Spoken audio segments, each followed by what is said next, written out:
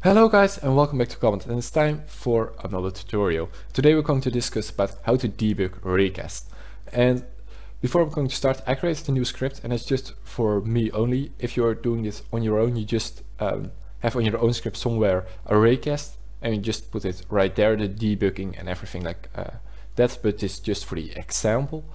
Um, so, and also I loaded up the Assassin's Creed scene, but it doesn't really have anything to do with it.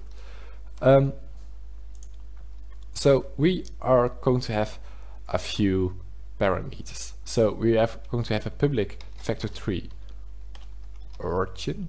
Um, well, let's just, it's like the very first variable from a raycast, but let's just remove this one for now um, and just make it the actual location that we're going to use the location of the object itself. It's very, a little bit easier to understand everything. Then we got the direction a public vector3 direction. And we're going to make it equal to a vector3 dot up. And we're just going to put a minus in front of it. So it means that it's going down.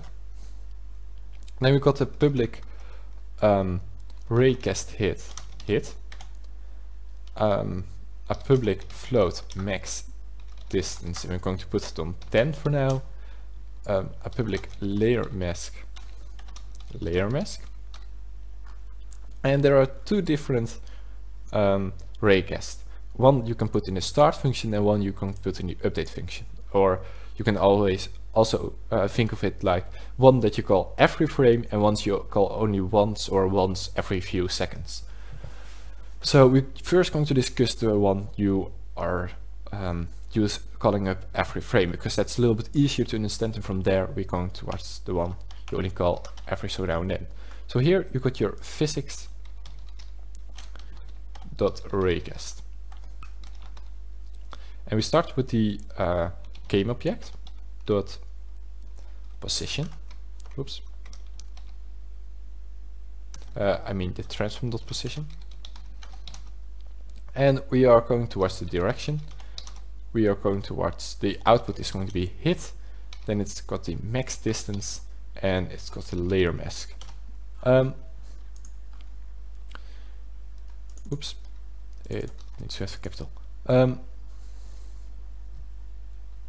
here you have your comments um, or your code or whatever you want to call it. And here we're go just going to add a print and from that the, um, I'm sorry, I've got here something, the out because it's the output. Uh, we're just going to add here the hit dot transform dot name. So now you just get the name of everything you hit. Um, and as you can see, if we are just going to start it all up, you see we are hitting something and that's the floor prototype and that's the object, uh, this object. Um, that is still something, even though you currently know you are hitting something or you are not hitting because it you don't get a print comment in your uh, log file.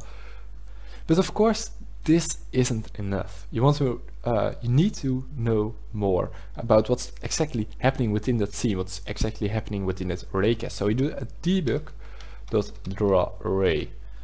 Um, from that, you start again with the transform dot position because that's your the location where you start, and then you're going towards the direction. But if you want to make it longer, you multiply this with the distance. So you multiply this with the maximum distance. Then um, you also got the color and that's you just something that you really need to set up every time. So so you just know which color exactly uh, the one is. It makes it a little bit easier to understand what's happening. So we just put here green for now and we're just going to hit play.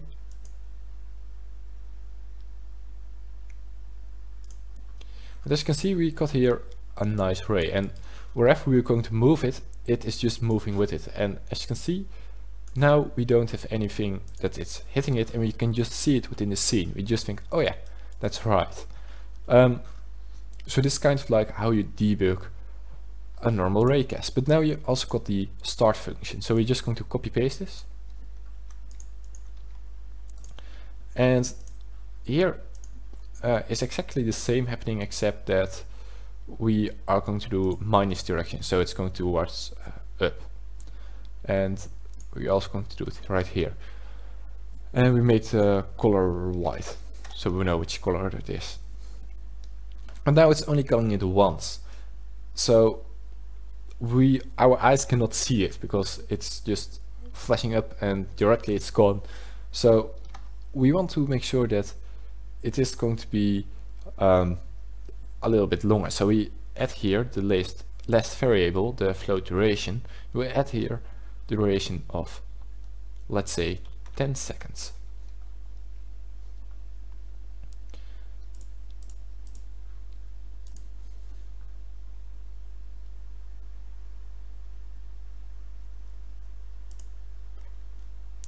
as you can see, uh, that ray just stays here. Well, I can just move the green ray uh, just all over. And as you can see, it's now gone, but you at least you saw what's happening, where it was hitting, did it hit anything, and so on. So now we can just, that's very easily how to rake or how to debug raycast. Um, a few things you need to make sure that everything is alright when you are debugging uh, raycast or actually a few tips about what can go wrong when you are playing around with raycast.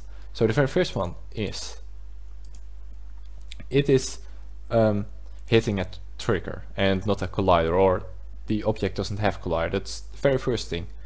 Um, so just think of that, of it. Um, the second thing is your distance isn't uh, isn't far enough, but you can of course see that with the draw ray.